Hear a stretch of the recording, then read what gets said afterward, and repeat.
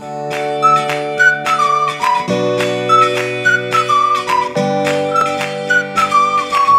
gente, tudo bem com vocês? E eu tô aqui no canal de novo pra fazer um vídeo sobre cabelo, porque desde que eu mudei a cor do meu cabelo eu tenho que ter um cuidado muito grande.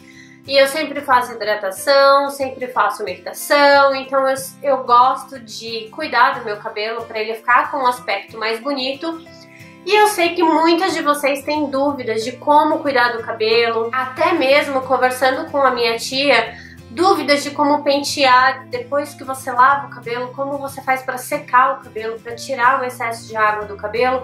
Então eu vim fazer um vídeo aqui mostrar para vocês hoje como eu faço a umectação do meu cabelo, como é, depois que eu lavo o cabelo, como eu faço para tirar o excesso de água, como eu faço para pentear o cabelo de uma forma que não agride, não quer. Pode parecer bobeira, mas tem muita gente que assim como eu tinha dúvida, ainda tem sobre esse assunto eu gosto muito de fazer a umectação no meu cabelo com esse óleo de coco aqui, ó, que é o óleo da Copra. Eu gosto muito desse óleo aqui porque ele é extra virgem e ele é 100% natural. Esse óleo dá pra fazer tudo, né? Se você quiser, dá pra cozinhar, tudo, dá pra fazer o que você quiser. Dá até pra escovar os dentes, né? Igual eu fiz com o açafrão. Se você ainda não viu esse vídeo, eu vou deixar o link aqui pra você ver. Uso pra essas receitinhas assim, sabe? Caseiras. Ele tá com um aspecto branquinho porque tá um pouco frio. Porque quando tá calor, calor, ele fica o olhinho mesmo. E quando tá frio, ele fica parecendo uma manteiguinha. Como ele tá mais molinho, gente, eu não vou derreter ele, não vou esquentar nem um pouquinho no micro-ondas. Como se fosse um creminho, tá vendo, ó? Ele não tá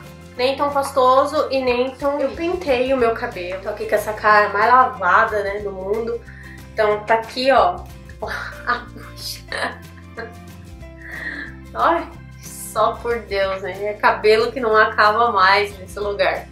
Então eu pentei o meu cabelo e eu começo penteando da parte de baixo. Então eu vou penteando, desembaraçando a parte de baixo pra cima e quando eu desembaraço eu vou subindo mais um pouquinho. Realmente, gente, eu divido ele ao meio, tá? Fica parecendo assim a, a mortiça da família Adams. Divido ele ao meio e com a mãozona pego o óleo de coco sem dó e passo no cabelo.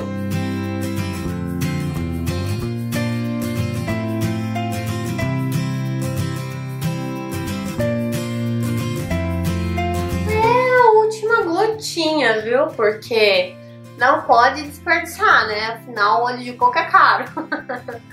não pode desperdiçar. Restinho assim, ó, que tem nas minhas mãos mesmo, é a hora que eu passo aqui, ó, nessa parte de cima. Faço um coque e deixo agir por duas horas.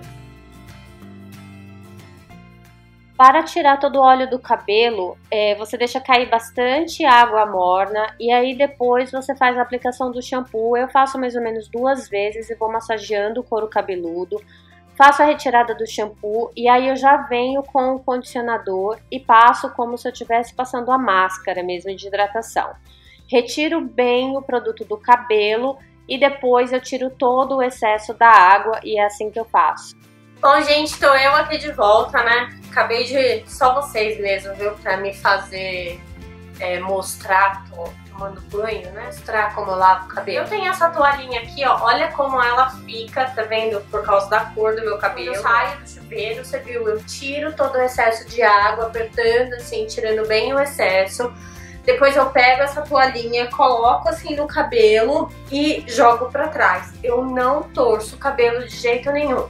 Porque quando o cabelo tá molhado é muito mais fácil de quebrar os fios. Então você precisa ter o máximo de cuidado. Você tem aquele hábito de jogar o cabelo pra frente pôr a toalha e torcer pode acabar com isso porque isso quebra o cabelo. Normalmente o dia que eu faço hidratação ou o dia que eu não tenho evento, o dia que eu não preciso estar tá com o cabelo simplesmente pego um leave, mando esse aqui da suíte profissional, um pouquinho, metade do cabelo, é, sem desembaraçar, né, que já é pra ajudar.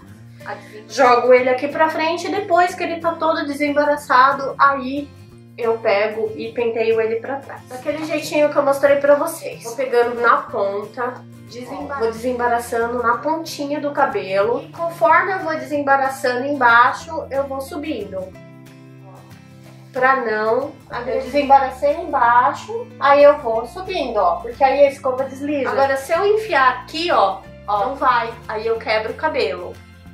Viu, ó, ó, porque tá tudo embaraçado. Então, essa é a forma correta de pentear o cabelo. Depois, se eu sentir que tem um pouquinho de água ainda, de excesso de água, eu volto com a toalha e tiro dessa forma. Gente, eu não esfrego. Isso aqui é atrito no cabelo, você faz fique com frizz, fique feio. Então você vem com a toalhinha e você aperta, aperta para tirar o excesso da água. Eu não tenho que sair, eu não eu não faço cacho, eu não faço nada. E eu deixo ele secar assim no natural. E eu vou terminar esse vídeo com essa cara lavada mesmo, porque esse vídeo é um vídeo de cabelo, eu tinha que mostrar de uma forma mais natural pra vocês de como eu cuido do meu cabelo, como eu penteio, como eu lavo. São pequenos cuidados do dia a dia que faz a diferença para você ter um cabelo muito bonito e saudável. O cronograma capilar ele ajuda muito, muito, muito a recuperar o cabelo.